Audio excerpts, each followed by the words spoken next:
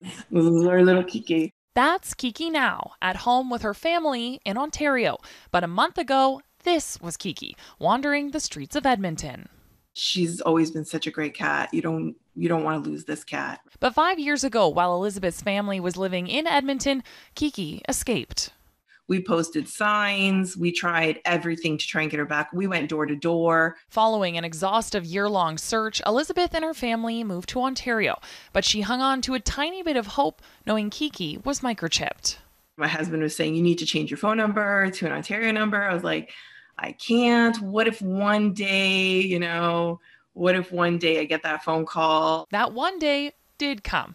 The cat that Elizabeth lost She was coming from that area over there. and is then the same one that Hannah found. I was home, so I would see her. I would actually see her come, and she was eating, and she would come back like three times a day for the food. Guessing a cat that hungry likely didn't have a home, Hannah called for help. Kiki was trapped and taken to the vet.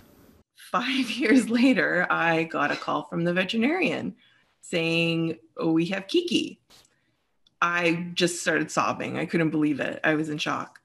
What a trooper! Like she's so strong, living out there for that long. Although Kiki the cat didn't come back the very next day, five years and one plane ride later, the reunion is just as sweet. She's gonna live a great life now. She's gonna be spoiled rotten. She doesn't seem to really be too interested in the door anymore, so I don't think she's going anywhere. Because after fending for herself, Kiki now has a new appreciation for just how good she has it. Sarah Reid, Global News.